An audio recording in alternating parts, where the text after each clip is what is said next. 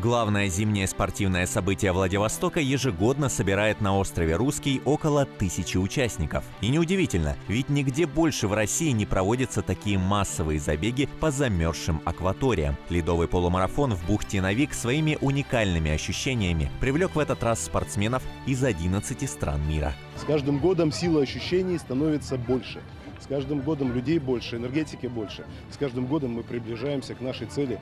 Владивосток – столица бегового движения. Ну, сначала Дальнего Востока, но я так даже думаю, мы скоро и к миру приблизимся. В этом году впервые 30% практически, даже больше, э, среди участников ледового полумарафона – это наши гости. Уже на обязательной разминке видно, что участники в ледовом забеге самые разноплановые. Будь то учитель, политик, легкоатлет, полумарафону это не важно. Своим испытанием он объединяет всех. Я не знаю э, о никаких странах э, в мире, которые проводят э, такое соревнование.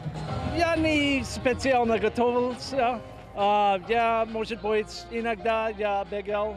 Э, Я делаю гимнастику каждый день, рано утром. Но э, я только бегаю 5 километров. Задача вот уже четвертый год остается неизменной. Всем участникам дается на выбор три дистанции – 5, 10 и 21 километр. Последняя – это и есть полумарафон. Возможность испытать себя в беге на льду была и у детей, которые героически преодолели 500-метровую дистанцию. И если подрастающая спортивная молодежь сделала это за несколько минут, то взрослых бегунов ожидало более долгое путешествие на пару экстремальных часов.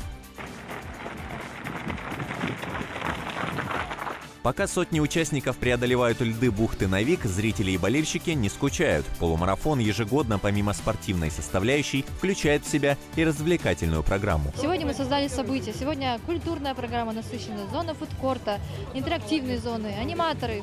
Ну, в- в общем, все, все для того, чтобы людям сегодня было комфортно и весело отмечать праздник спорта, отметить 23 февраля. И вот на финише появляются первые герои дня. На главную полумарафонскую дистанцию 21 километр у лидеров ушло около полутора часов. Пробежав финишную черту, спортсмены получали свои заветные медали и, едва отдышавшись, делились со своими родными и друзьями первыми впечатлениями. На время здесь обращать внимание вообще не нужно, потому что дорожка, асфальт и лед это вообще абсолютно разные вещи. И бежал по собственному самочувствию и, соответственно, смотрел, где соперники. Вот. И все удачно получилось. Первый старт в Владивостоке. В 2016 году я был здесь третий, а сейчас выиграл, но в 2017 году я не участвовал, потому что я порвал ахилл. У меня была операция, я учился заново ходить и бегать. И я дал своему отцу слово, что я выиграю этот забег. Он не хотел меня отпускать.